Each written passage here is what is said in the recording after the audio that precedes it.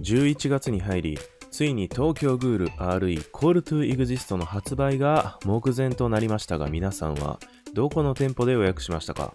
今回は店舗ごとのオリジナル予約特典を見ていきましょう。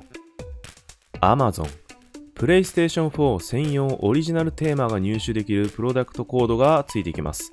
雪村を持ってカグネを解放しているハイセと、かっこ悪くても生きろのシーンが映っているパターンが一つ。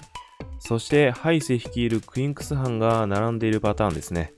どっちもめちゃくちゃかっこいいから、とりあえず予約しておきましょう。お値段8360円。ゲオ。同じく PlayStation 4専用オリジナルテーマが入手できるプロダクトコードがついてきます。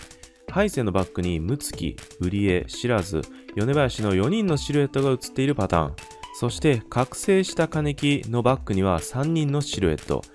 これは多分、ひなみ、月山、錦でしょうか？誰かわかる方いたら教えてください。お値段7100円ですが、すでに受付終了しています。残念。アニメイト。A4 のクリアファイルがついてきます。表はルート A の金木で、裏はハイセですね。ゲーマーズ。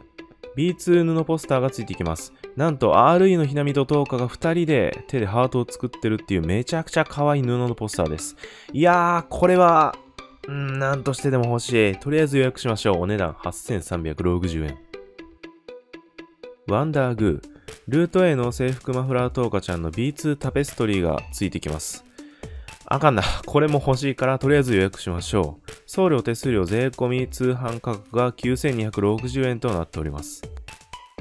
以上になります。皆さんはどこの店舗で予約しましたか？おそらく Amazon が多いんじゃないかなと思っています。